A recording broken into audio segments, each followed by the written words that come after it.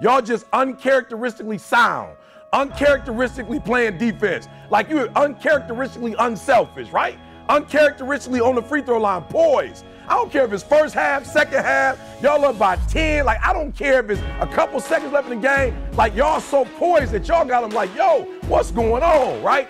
They can't pass. They can't dribble the ball. They can't play their note. Like, real, I want y'all to be so uncharacteristically Loyola that they like, yo, we didn't prepare for this team. Like, that they that wasn't on the film. Like, yo, they doing stuff that we didn't know. Like, I want the coaches, when y'all finish, the coaches to be like, whoa, like when we recruited you, we knew you could play ball, but yo, y'all on another level, right? So I want y'all uncharacteristically play as a team.